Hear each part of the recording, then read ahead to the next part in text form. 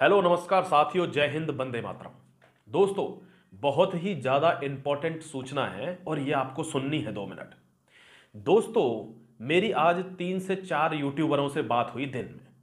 जब मेरी उनसे बात हुई तो उन्होंने सभी लोगों ने, किसी एक ने नहीं, सभी लोगों ने जिससे भी बात हुई, जो इस मुद्दे को लेकर चल रहे हैं, दोस्तों, उन सभी ने एक ही बात कही कि, सर, हमने जैसे ही कोई इंफॉर्मेशन वायरल की, यानी जैसे ही कुछ बताया इतने बड़े विश्वासघाती और नमक हराम इसमें शामिल हैं और वो बहुत ही साधारण बच्चे। साधारण यूपीएसआई एस्पिरेंट बन के कमेंटों में बैठे हैं जो लोगों का ब्रेन वॉश कर रहे हैं। जिनकी वजह से उन कुछ लोगों की टीम में इतना पावर है कि उनकी वजह से बच्चे कहीं पहुँच नहीं पा रहे हैं। उनकी हिम्मत नहीं हो रही है कि वो घर से निकलकर कहीं पहुँचे। यानी आंतरिक तौर पर वो आंदोलन को कमज़ोर करे दे रहे हैं।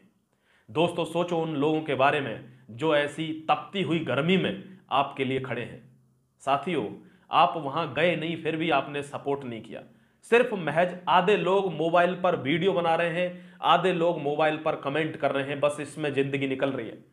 सबको यह है कि मुझे खुशखबरी मिल जाए पर कमरे में बैठ के। ऐसा मुमकिन नहीं होता, दोस्तों। ये ऐसी लड़ाई है जो हो सकता है आपके जीवन में जब आपको अगर न्याय मिल जाए तो आप अपने जीवन में हर किसी को बताएँगे।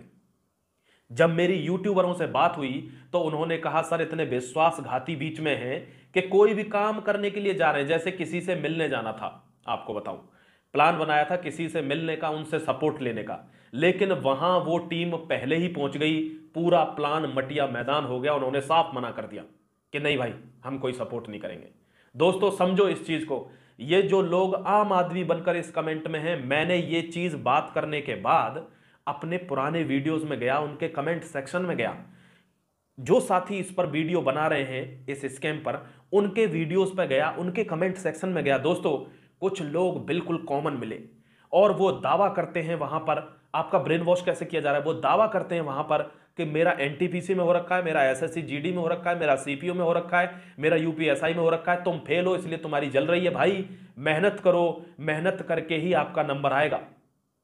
दोस्तों, इस तरीके से लोगों का हौसला कमज़ोर कर दिया और इसीलिए आंदोलन कमज़ोर पड़ रहा है। क्योंकि बच्चे कहीं ना कहीं ये सोच रहे हैं कि ये इसी, अरे जब इतना ही पढ़ने से नंबर आ रहा होता, जब इतना ही पेपर सरल है तो 128 नंबर जिस व्यक्ति के आ रहे हैं, उस व्यक्ति का सिलेक्शन क्यों नहीं हो रहा है? उस व्यक्ति के सारे नंबर नॉर्मलाइजेशन में कैसे कम हो गए? जब पेपर सबके लिए ही सरल है तो 128 वाला तो सेलेक्ट होना चाहिए ना? नहीं है वो सेलेक्ट 125 नंबर पर 115 पर कट ऑफ़ गई है, वो सेलेक्ट नहीं है।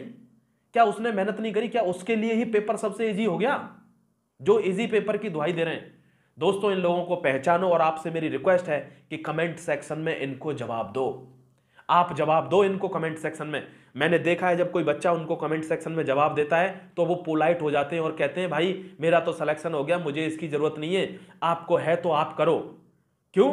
क्योंकि वो सिर्फ़ हमारी लेवल देख रहे हैं, ये कितने लेवल तक ले जा सकते हैं इसको। ब्रेन वॉश करके आधे यूथ को उन्होंने घर में ही बैठा दिया है। साथियों थोड़ा सा दिमाग लगा के कॉमन सेंस से सोचो कि अगर ये लोग इतने ही पढ़ने लिखने वाले होते, अगर इनका इतने ही पेपरों में सिलेक्शन हुआ, रखा होता तो क्या ये ये वीडियो देख के, चलो मान लो मेरा वीडियो देख लिया, या मान लो किसी और का देख लिया जिसने वीडियो बना रहा है, ये सारे वीडियो देखते हैं, सारे, जितने भी वीडियो आ रहे हैं, देखो इनकी प्लानिंग ये टीम है। ये सारे वीडियो देखते हैं और एक एक व्यक्ति के दो चार के मैं नाम बता देता हूँ आपको। V Y R L S Ankit Mishra, Ankit Kumar, एक कच्चू पुड़िया करके कुछ है। ये चार, छह से दस, बीस लोगों की टीम है, जिनके कमेंट आपको हर वीडियो पे मिलेंगे। हर वीडियो पे। ना मानो चैलेंज है, जाके कोई सा भी वीडियो खोलो जो स्कैम के ऊपर बनाए और एक कमेंट नहीं, चलो एक बात मान लो आपको पढ़ने का कोई सजेशन दे रहा है, एक कमेंट करके छोड़ देगा ना। इनके हर दस बीस कमेंट के बाद एक कमेंट है और पूरे 200 से 250 कमेंट में 10 से 20 कमेंट इन्हीं लोगों के हैं। सिर्फ़ मॉडरेट कमेंट एक ही तरीके के कमेंट आप इनको पहचानो, इनको वही काउंटर कर लो। डरो मत दोस्तों, आज साथ दो, आज तुम्हारे साथ की ज़रूरत है। अगर लड़ना है तो खुद के लिए लड़ना सीखो दोस्तों। ब्रेन वॉश मत हो जाओ। लोग तुमको रोकना चाह रहे हैं और तुम उस षड्यंत्र को समझ नहीं पा रहे। पढ़ाई करो, पढ़ाई की मना नहीं है। अगर आप बाहर नहीं जा रहे हैं, आप पढ़ाई करो, लेकिन एटलीस्ट आपको यह वर्क मैं दे रहा हूँ कि जब भी ऐसे लोग हों तो इनके मनोबल को तोड़ो।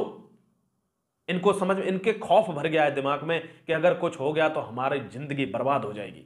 और इनकी ज़िंदगी बर्बाद होनी ही चाहिए, क्योंकि इन्होंने बहुतों की ज़िंदगी बर्बाद करने की पूरी प्लानिंग की है। साथियों, अपने हक के लिए लड़ो। जय हिंद, वंदे मातरम गॉड ब्लेस यू